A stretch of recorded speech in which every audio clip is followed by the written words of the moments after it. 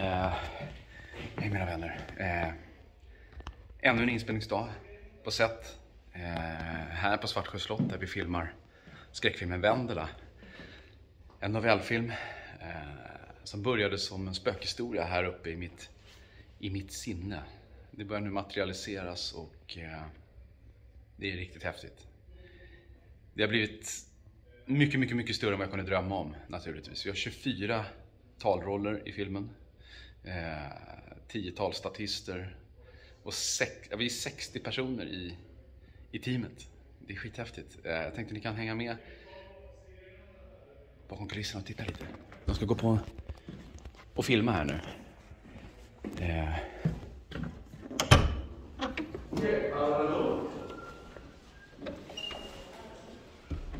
eh Då säger vi så mycket som en tystnad för en repetition.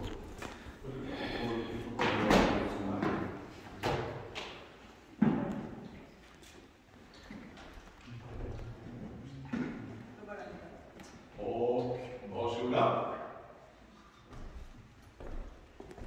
Hej. Tack.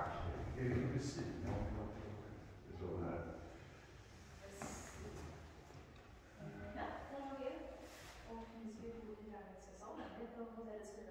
Ja, ja, ja, ja, det stämmer det.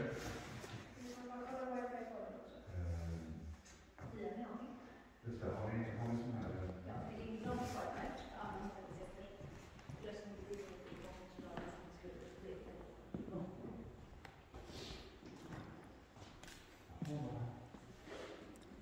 Men jag skulle tycka Ja, eh, det ses som en vända. Disponenten som började bygga det här slottet och som bodde här innan vi blev till han var en styvfar. Och det sägs att han var väldigt sträng och att han fick en dom här på när han disciplinerade henne. För tydligen så var han väldigt eh, sträng med att alla dörrar alltid måste vara stängda.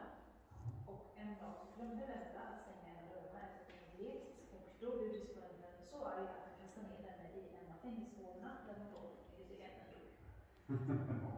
Du tycker jag är kärlek? Ja.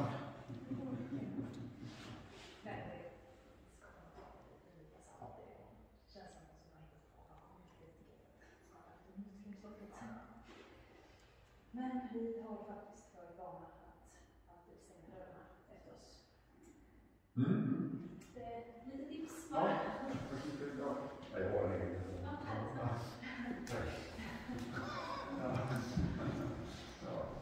Okej. Men det är ju man kommer till skott.